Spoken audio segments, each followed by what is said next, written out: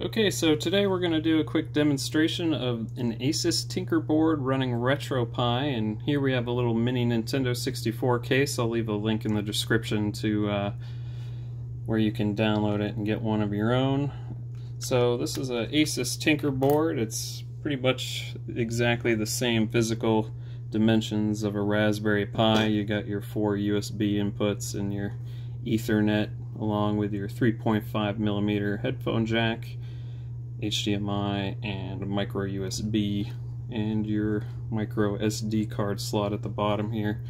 So we use a Asus Tinkerboard because it has uh, a little bit better of a GPU and uh, the only downside is it just costs a little bit more. The Raspberry Pi is about $35 and this version of the Asus Tinkerboard is about $65. So let's get into the setup here.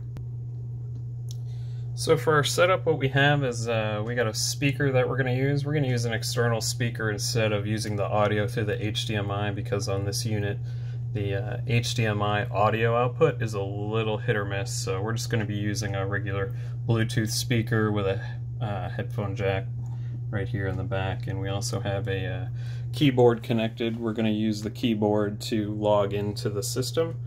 Uh, you can use any any USB keyboard really. There's a lot of really small handheld ones that I like on Amazon, but we got this one here. I think I got it at Walmart for like 10 bucks. And here we have a N64 style USB controller. So this system can run up to four different controllers once you get it going. Um, you can play four person Mario Kart, anything like that. Uh, it supports pretty much any USB controller, so PlayStation, Xbox Ones, you just need the drivers for it. Um, there's a Logitech F310, which I like. That's a pretty good one. But if you're just looking to play N64 games, this is pretty good. But if you're looking to play, um, you know, any other system, I would just go with the Logitech F310. I'll leave a link in the description. Uh, and also another important thing for the power brick, you want to get a large one, something like this, something that you would use to charge a tablet. Uh, has to be at least a two and a half amp output. The system is overclocked and uh, it does require a little bit of power to run properly. So let's get into some games. So once you boot the system, it'll show this login screen. We're just going to log in here. and we're going to launch Emulation Station.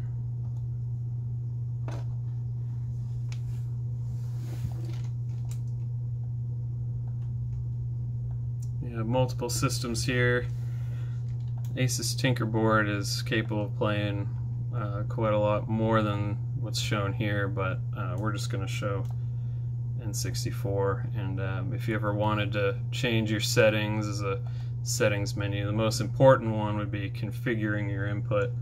Um, if you're changing controllers or if you bought a new controller, from this menu you would go through and um, change your settings here. I'll just do a quick quick demo of that. So it says, do you want to configure your input? You go to yes.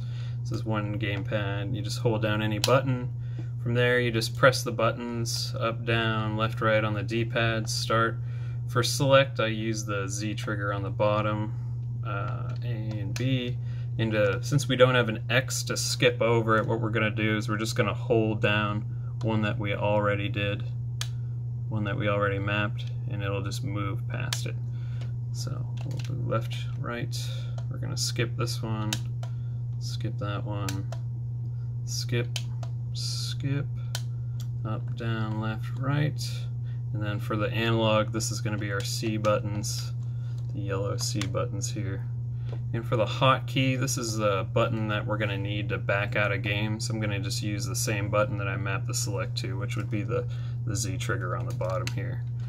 So I'll hit OK. It'll take a couple seconds. The computer is writing the, the config file, and it looks like it's not doing anything, but it's actually generating the, the buttons we mapped. So we just got to wait. We press start.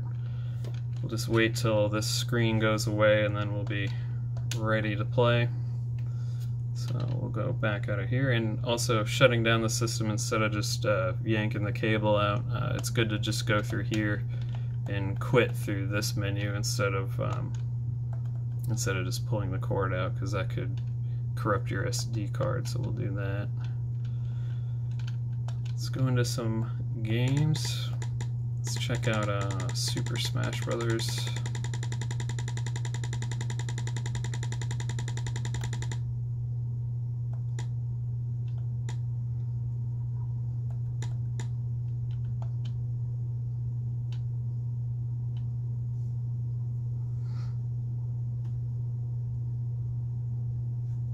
So you'll notice right away in the in the audio and the gameplay that this is much smoother than using a regular Raspberry Pi.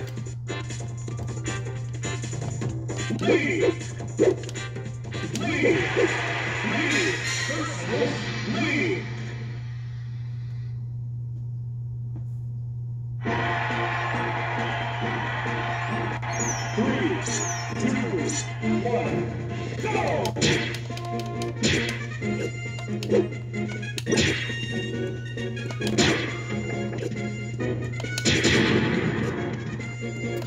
Gameplay is a lot smoother on a Tinker board.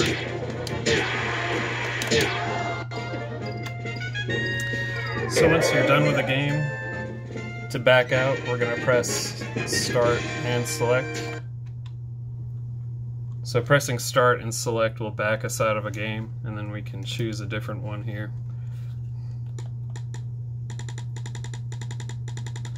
Go to GoldenEye. Oops.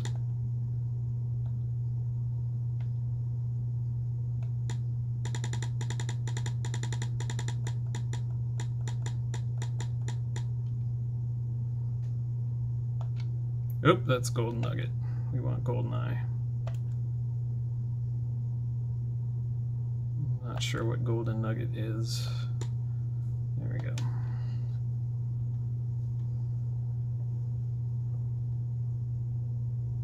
So if you've used RetroPie before, you'll know that GoldenEye is a real, the real test here for emulation.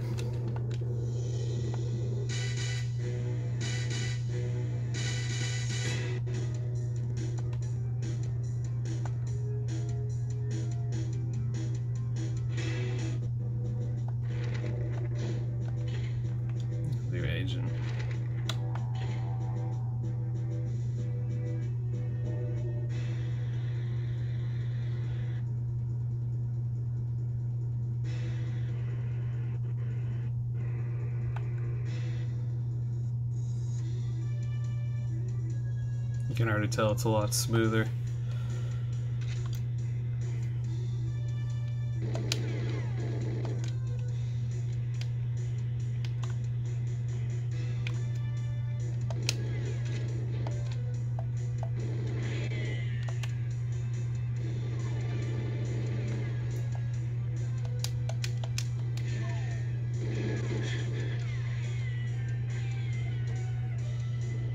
Not really any lag.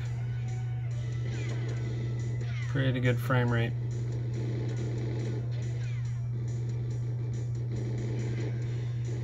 Not really any stuttering and the audio is keeping up rather well.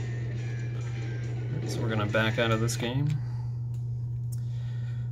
And that's all there is to it. Um, I think this whole system cost roughly maybe anywhere from $160 to 180 um, but it's a lot cheaper than buying an actual N64 all you need is you know just a speaker setup and you can use anything anything really. Um, and it can support up to four players and other than that that should do it.